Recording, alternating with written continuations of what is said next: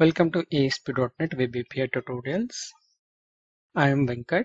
This is part 1 introduction.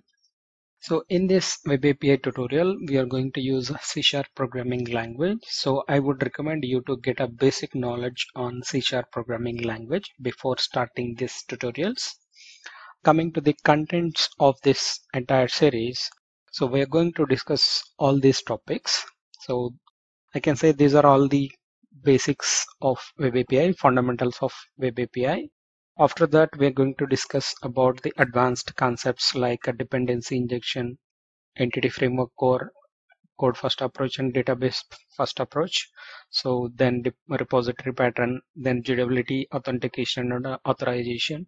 So then API versioning, CORS, Swagger with authentication, Postman, deploying the API applications and consuming API applications from other applications like MVC, console application, or Angular or React application.